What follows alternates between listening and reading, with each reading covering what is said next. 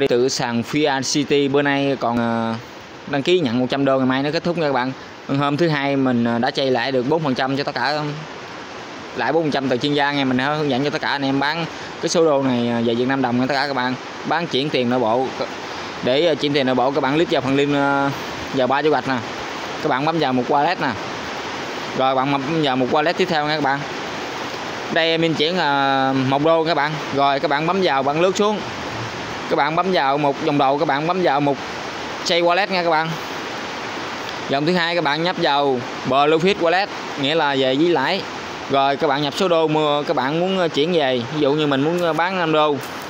Rồi bạn bấm nó submit nha các bạn là nó về nó sẽ về với ờ, với lãi này nha các bạn. Rồi sau khi nó về với lãi xong mình, mình hướng dẫn à, chuyển tiền nội bộ các bạn. Rồi các bạn nhấp vào qua xuống wallet tiếp theo nè. Các bạn bấm vào một transfer nè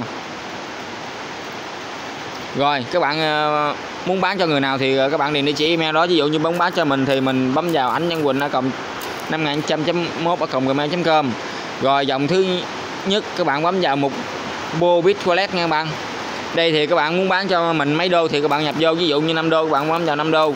Còn dòng thứ hai này là cái dòng ghi thông tin. Các bạn ờ, ví dụ như bán cho mình thì các bạn điện thông tin vào rồi các bạn bấm vào một cái mã pin code các bạn đăng ký đó, rồi bạn bấm một một transfer như vậy là tiền đã về các bạn đây mình hướng dẫn với ờ, ví dụ cho các bạn vậy đó.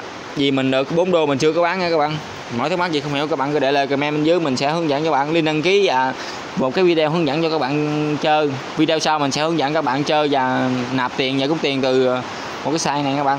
Bạn muốn rút được thì các bạn phải có lượng giao dịch từ 1.000 đô các bạn. Buy hoặc sell. Thì chào tạm biệt tất cả các bạn nha. Mọi thắc mắc không hiểu, các bạn để lại comment dưới, mình trả lời mà. Vậy chị, tạm biệt các bạn.